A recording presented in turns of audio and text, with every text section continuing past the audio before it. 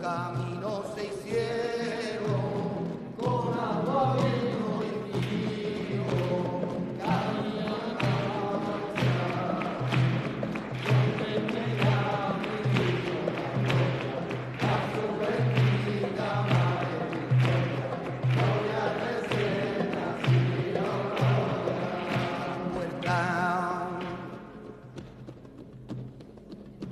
ya a la puerta de un rico avariento llegó Jesucristo y limona pidió.